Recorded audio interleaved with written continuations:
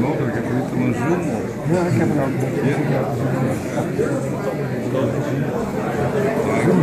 Ik ben nog van een andere generatie. Ja, ik ben sinds kort uh, in de generatie op school.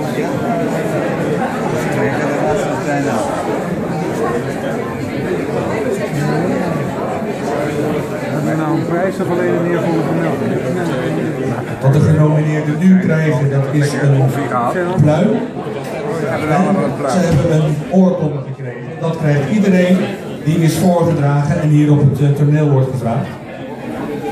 Ik zou jullie allemaal in ieder geval vanwege al de voordracht enorm willen bedanken voor alles wat jullie hebben gedaan voor de gemeenschap, in dit geval specifiek voor Warmond.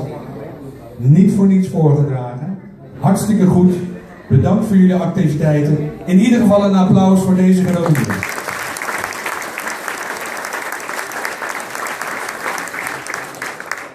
En één van deze genomineerden heeft dan uiteindelijk de Vrijwilligersprijs 2014 Warmond gewonnen. En zoals je dat op zijn Engels zegt. En de winner is.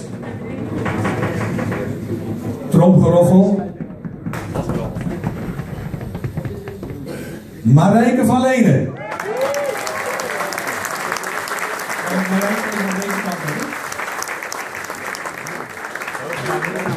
Want ik ga in ieder geval iets vertellen uit het juryrapport.